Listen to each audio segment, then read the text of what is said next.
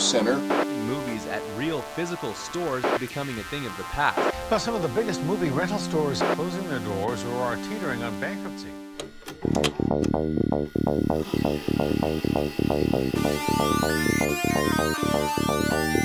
At that time, everybody was opening video stores. There was one every other block. Pittston Video, Jumbo Video, Four Star Video, King Video. a guy bootlegging VHS out of a black van. We were renting several hundred a day, paying a $100 membership fees, a thousand pieces on a weekend day. $5 to rent a movie for one night. Once I would get a, a late fee at one store, I would just go and get a membership at another. Full semi-full of CED discs to be delivered to our one store. The need for product was so great. Not that many people originally were doing these direct-to-video movies. Distributors wanted everything. Back then, with the right cover, a distributor could have sold my birthday video. A lot of times they were willing to offer you contracts sight unseen. I could sell 30,000 units of my bar mitzvah film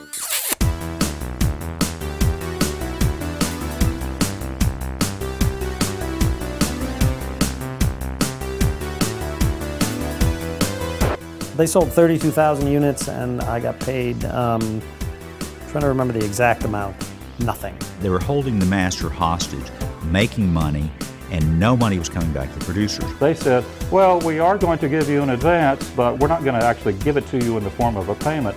We're going to spend the advance on improving your movie. Now they were into the movie 20 grand versus my 10 grand. So now Panorama suddenly is the majority owner of the movie. He said, you know what? I live in Canada. Why don't you just sue me?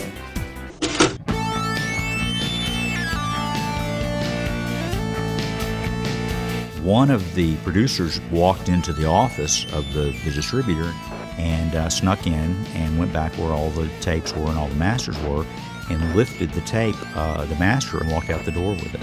We weren't getting our money from our distributors, so I went on national TV with my lead actress and I got her to cry on camera.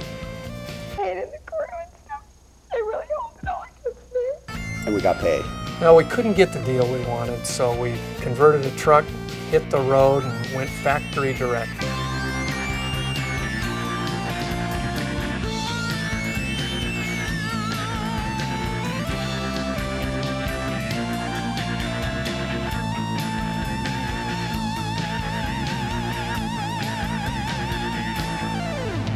Home entertainment has never seen the likes of this before.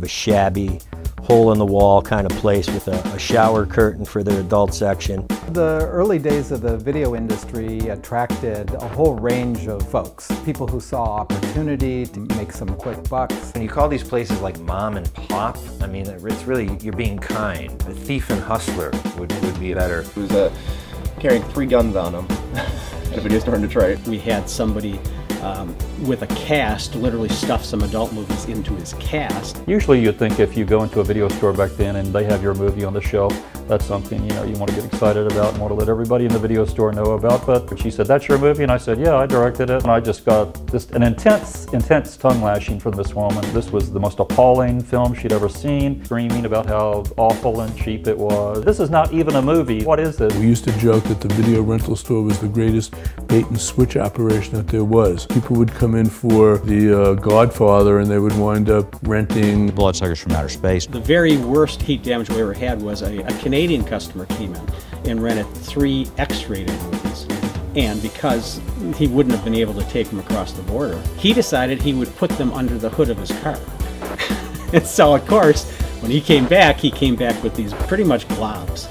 The clerk that ran the place, she wouldn't stock titles like Faces of Death because she had been in a car accident. Workers killed in a traffic accident here in Anaheim. Barbara Regal, KFWB News. Thank you very much, Barbara Regal. A major decision was handed down in Los Angeles today concerning the use of home videotape recordings. Major because so many people these days are buying and using VTRs in their home. We're going to be talking right now with a gentleman who publishes uh, I guess it's a magazine called Videophile to join in our conversation. The big movie studios had no idea that people would want to collect movies. The idea that you would want to see a movie, which, takes up a couple hours of your time, over and over again, was completely foreign to them. So they didn't consider the possibility that they could sell these movies on tape. The studios were not healthy at that particular point in time, so they didn't necessarily want to spend the money. And they didn't really think it was ever going to last. Consequently, they were threatened by people who were recording these movies to watch in their own homes. The FBI and the uh, motion picture industry were all monitoring our ads.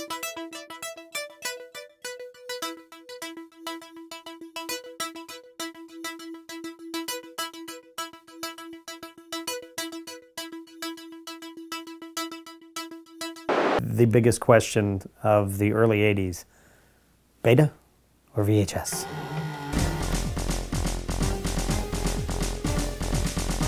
The graveyard of consumer electronics is littered with the bodies of dozens and dozens of home video formats. Cartrivision. Cartrivision. Cartrivision. Hello, I am Cartrivision. The tapes were manufactured so that you could only watch it once. If you had to take it back to the dealership and they would rewind it for you. CED disc. Certified electronic dud. Really a technical achievement. Vinyl discs, they were like an LP, except they had five times as many grooves. 200 times the data density. Sometimes they'd speed up parts of the movie. Star Wars. They sped that one up to like maybe 2%. You could tell. It was sped up enough that the music sounded weird. Not, not really that noticeable. And pretty much every movie skipped. Just came to accept that, you know, let's go, these discs are just going to skip every now and then. And they said, no, no. Our research indicates that people don't care about that. We were surrounded by pod people who were completely convinced that CED had no flaws at all.